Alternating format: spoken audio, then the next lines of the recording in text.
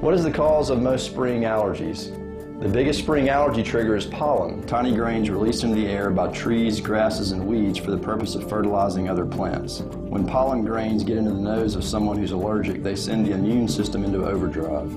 As the trees start to bloom and the pollen is released into the atmosphere, allergy sufferers begin their annual ritual of sniffing and sneezing.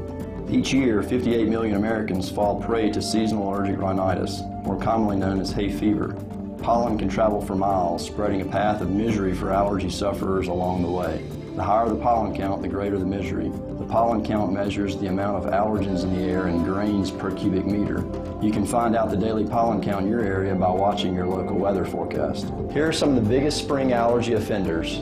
Trees including oak, pine, willow, elm, hickory, and cedar. Grasses and weeds including Bermuda, fescue, Johnson, perennial rye, timothy, and ragweed. Allergy symptoms tend to be particularly high on breezy days when the wind picks up pollen and carries it through the air. Rainy days, on the other hand, cause a drop in the pollen counts because the rain washes away the allergens. Join us next time on Health Talk with Baptist when we'll discuss some of the treatments of spring allergies. Mail your topic suggestions to healthtalk at wcbi.com. Health Talk has been brought to you by Baptist Memorial Hospital Golden Triangle.